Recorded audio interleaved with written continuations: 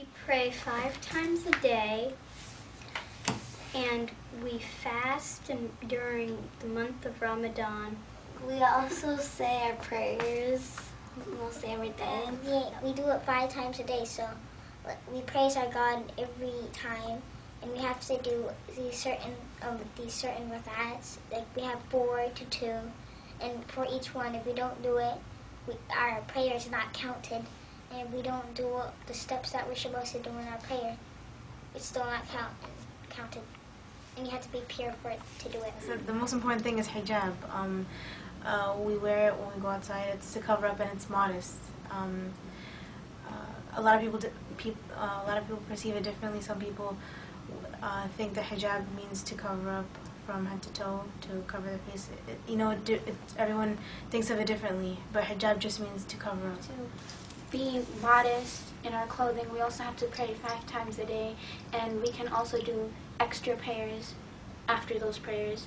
And we can, and we have to be especially clean and pure, and we have to respect our parents above all other people.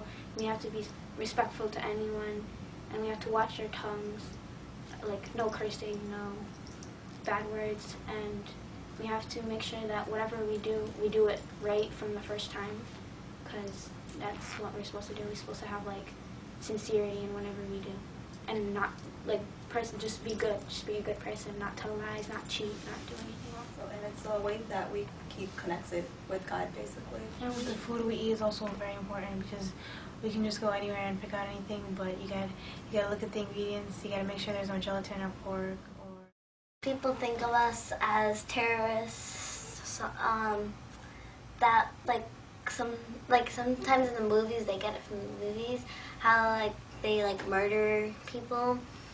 Mm, they think of us as mean, selfish people. They think where every problem in the world, what we do is just the problem. Like every time they will blame it on us. It could be us sometimes, and it could be somebody else. They think that we're that um, all Muslims are from an an Arab country or different country, and we don't know how to speak English or anything, and no, and we're not American at all, anything like that. And we don't know, like we don't know English, so they give us sign language, like you know, Go over there. away. try to use hand gestures like I don't know English. And they'll be like, do you know? And like, can you please move and everything? It's like people think that automatically when you say Muslim, they think that everyone's Arab, which is wrong because there's diversity in Islam. That's what makes us such an open community, and they think because we're Arab, we can't speak English. one lady asked me on the bus. She was like, "Where are you from?" And I was like, "I was, I'm from America." She's like, "No, where are you from?" I was like, "From America." She was like, "No, seriously, where are you from?" I was like, "I was born here." And she was like, "Okay, then where are your parents from?"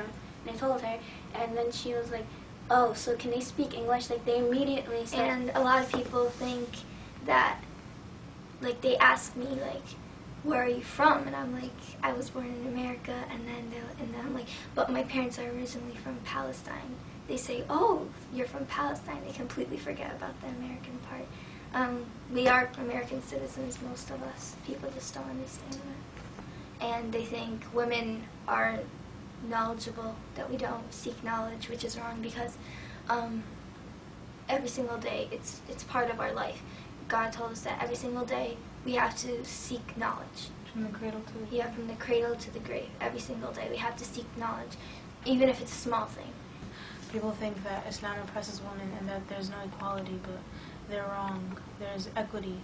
It's it's the same as saying that okay, it's like saying um, if I work hard all year and um, someone just sits down and they and okay, and I'm working and they're working, but they're sitting and I'm working hard and I'm running around everywhere and I get and they get and we get the same pay. It's not the same. There's there should be equity, not equality. So there's a difference.